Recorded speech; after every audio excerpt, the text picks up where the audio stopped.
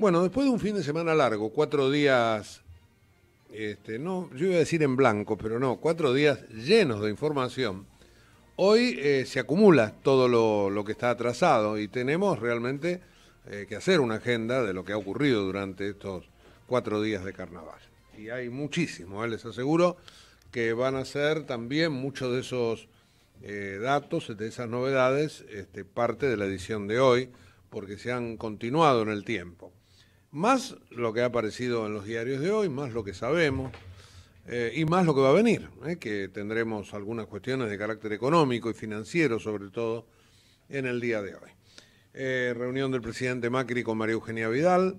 Los diarios dicen que le quiere dar un apoyo, un aval a lo que va a ser su negociación paritaria a partir de mañana con los docentes en la provincia de Buenos Aires.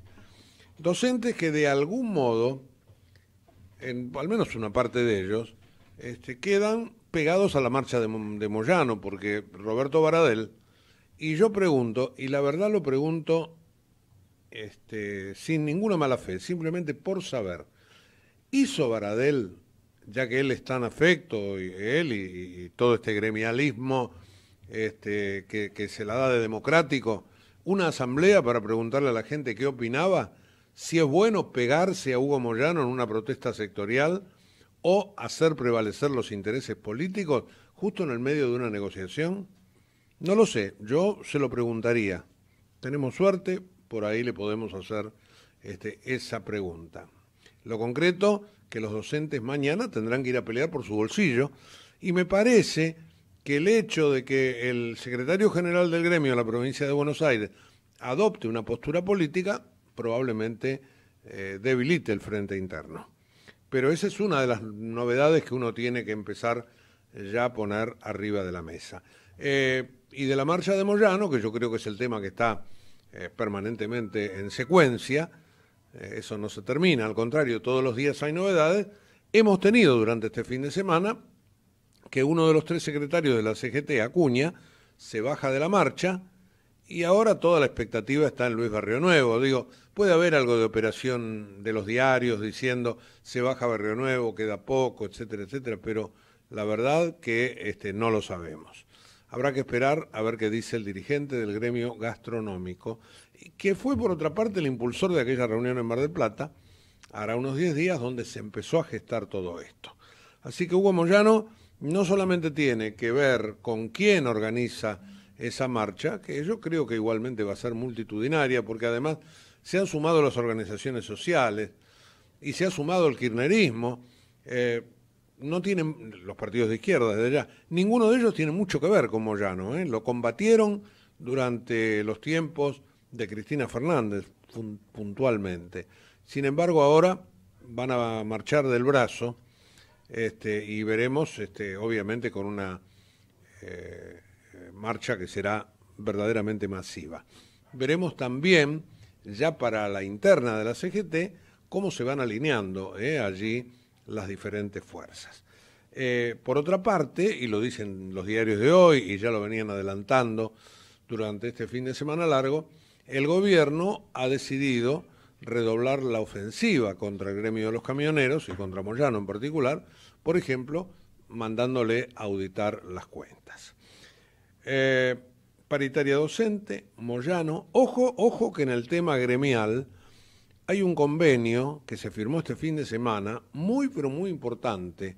Después de 25 años de rigideces, la Unión Ferroviaria decidió cambiar el convenio que tenía, les reitero, desde hace un cuarto de siglo atrás.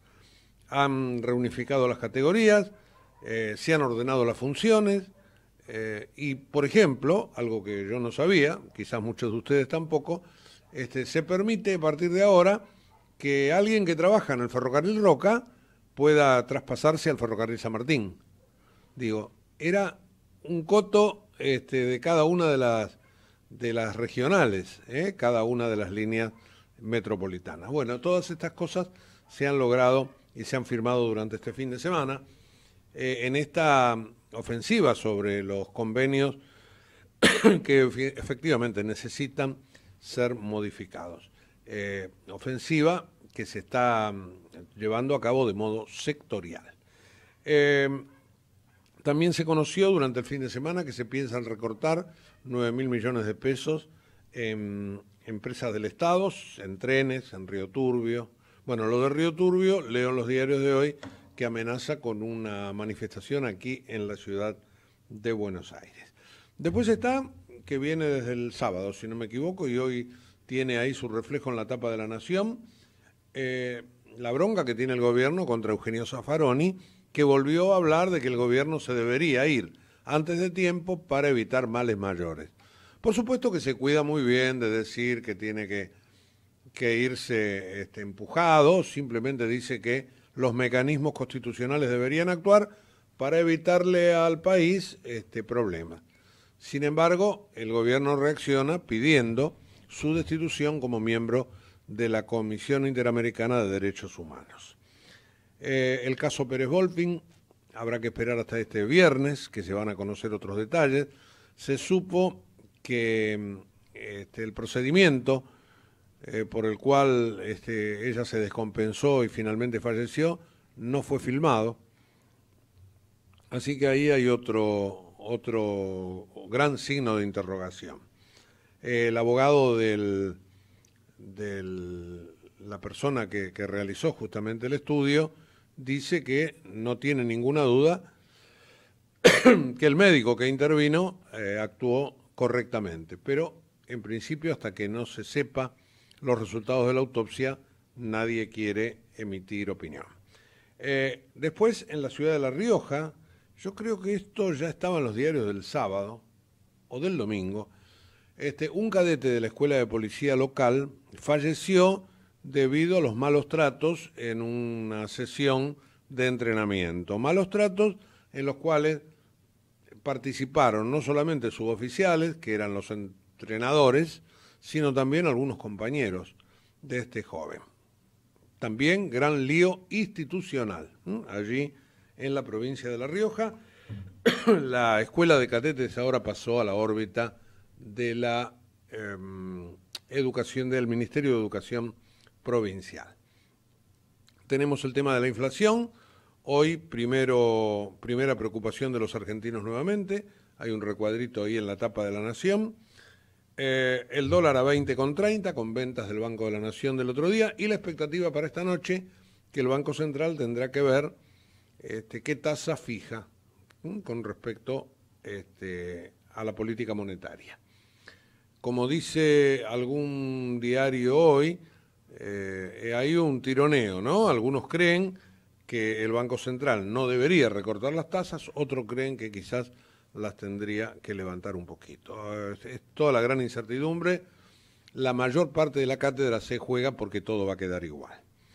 Eh, hay un triple crimen en la ciudad de Mendoza, se supo ayer.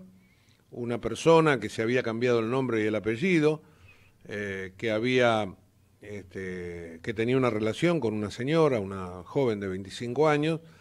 Bueno, no solamente la mató a ella, sino a su hijito de 6, sino también a la mamá, y finalmente se ahorcó. Un drama que este, en otros tiempos se conocía como drama pasional, bueno, ahora esto es violencia de género y efectivamente una hazaña terrible por parte del asesino. Eh, yo diría que con esto tenemos para empezar. Hay un montón de datos que vamos a ir seguramente sumando a medida que el programa avance y reitero, esto es el cúmulo de la gran bolsa de noticias que se juntó durante cuatro días.